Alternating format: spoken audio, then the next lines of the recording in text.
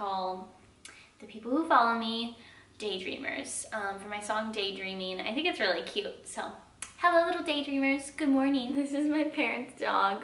I'm taking care of her for the week. So today is my filming day. I film like a bunch of content and then post it throughout the week. And the first video I'm gonna film is the three minute makeup challenge. I'm nervous. Literally my stomach, I'm like nervous. We're gonna do the three minute makeup challenge. Um, oh, that's, okay. Look at my hair. Okay, delete that. We're gonna start over. Okay, we're gonna do the three minute makeup challenge. Um, I'm literally nervous. i am not a makeup person.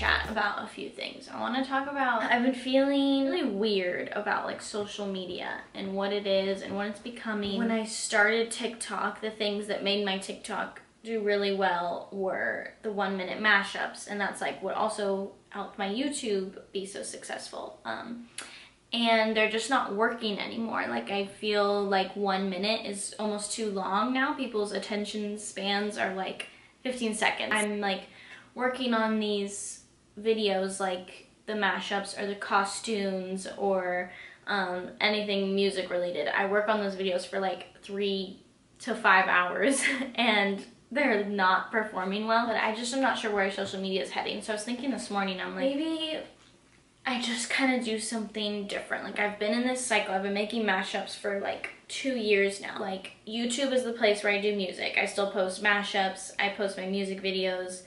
I post behind the scenes videos. I post vlogs. Just music. It's like high quality stuff on YouTube.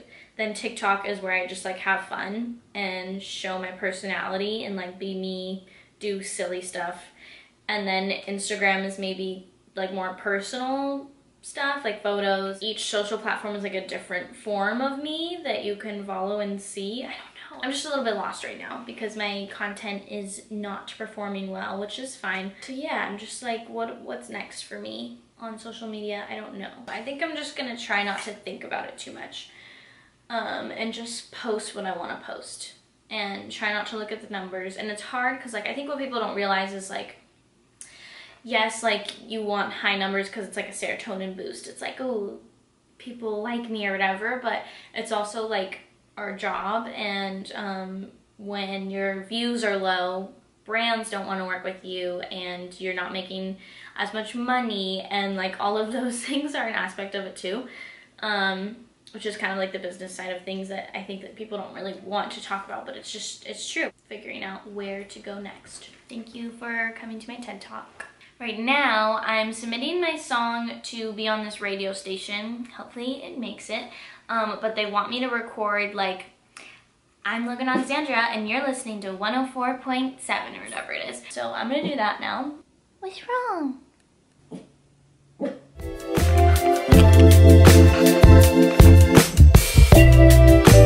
I'm Logan Alexandra and you're listening to Breaking Sound Radio.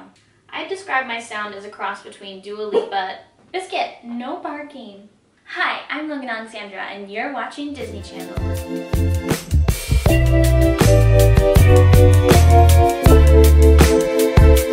So, it's lunchtime, and usually during lunchtime I just scroll through my Instagram Reels and TikTok and like save trending sounds or videos that I could make.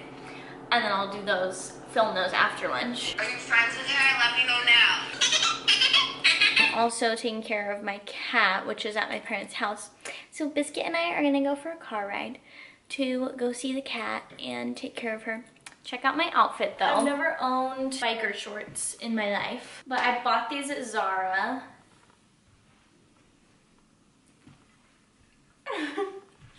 I feel cute. Damn, sorry I blew you off. I was doing lunch with Microsoft. We don't sing the next line.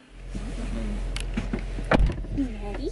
It's the cutest thing ever. She gets so excited to go in the car when she's going down the stairs. She like cries as she's going down the stairs. This is my cat Zoe.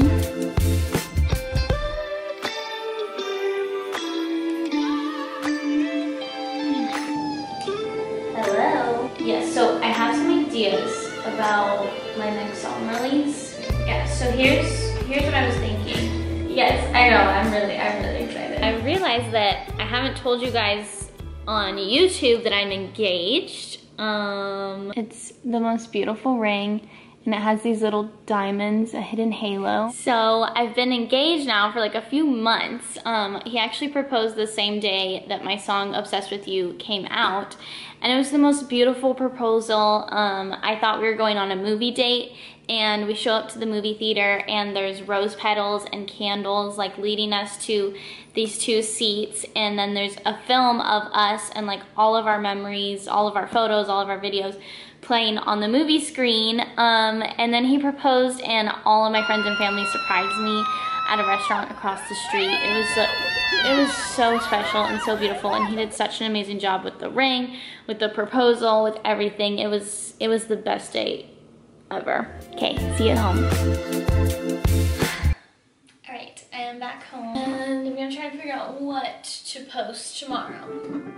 I had this idea to do like underrated Taylor Swift songs. So I start every mashup by writing down all the songs that I could possibly use. So we have all the songs listed. I'm definitely going to do 13 songs. So now I choose a chord progression that will fit um, the melody of all of these songs and put them in order. I also have a YouTube video that explains like everything that I do very thoroughly. I'll put it not sure which corner it's going to be in, but I'll link the video there so you can watch how I do these mashups. But let's just cut to the part where I have the mashup finished. And I'm done. The mashup is out now.